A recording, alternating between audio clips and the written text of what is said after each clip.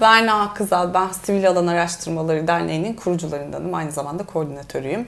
Ee, yaklaşık 10 yıldır da hak savunuculuğu yapıyorum. Gerek e, kadın mücadelesi alanında, son 6-7 yılda bunun ifade özgürlüğü alanında. Gayet zor bir alan, hak savunucuları açısından da zor bir alan hem e, bir takım psikolojik baskılar altında aslında yürütmek zorundayız işimizi.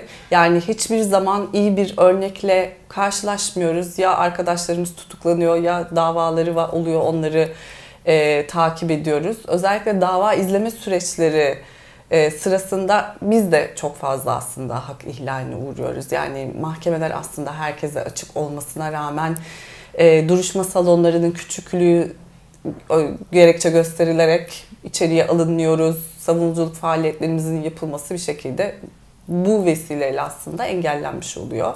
E, son, son 6 aydır biz dernek olarak da bir proje yürütüyoruz aslında. Hak savunmak suç değildir hashtag ile bir takım e, birer, birer dakikalık videolar ürettik, kampanya videoları.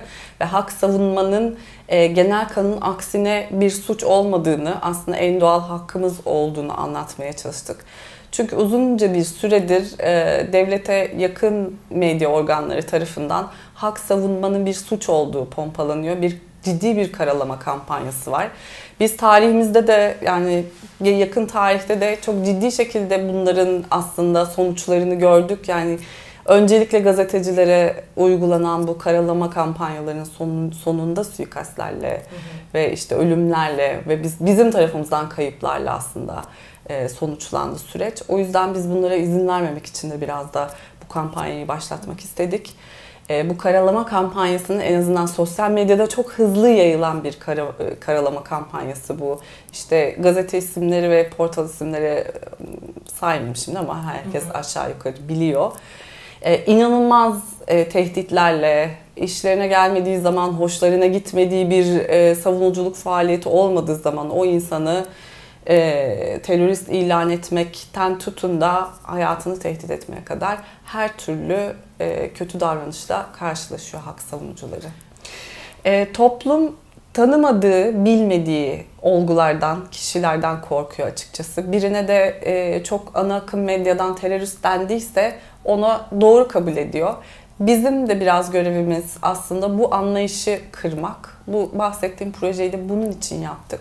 Toplumun bakışı tabii ki desteklemek yönünde olmalı.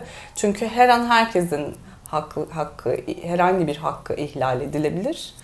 E, bu durumda da hakları savunacak olan aktivistler, savunuculardır devletin hak savunuculuğuna bakışı bence kendi uygulamalarının önüne taş koyan insanlar olarak bakıyorlar bize.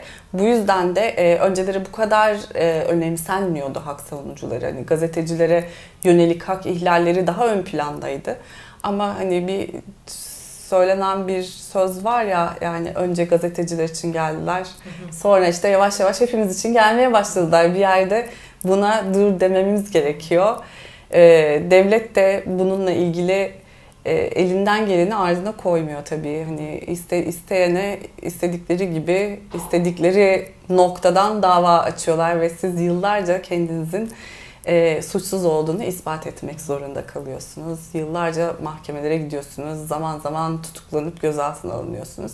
Bunlar hep aslında bizim savunuculuk faaliyetlerini yapmamamız için göz korkutma amaçlı yapılan bence stratejik karar verilmiş e, durumlar.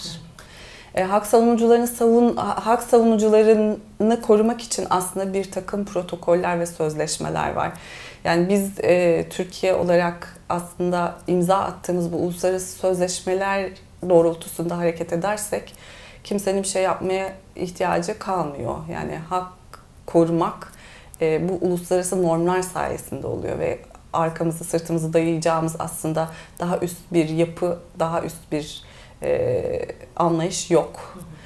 Ben e, bu devletten de beklentim uluslararası hukuk kurallarına uyması. E, gerektiği gibi uyulursa zaten başka bir ihtiyacımız kalmıyor.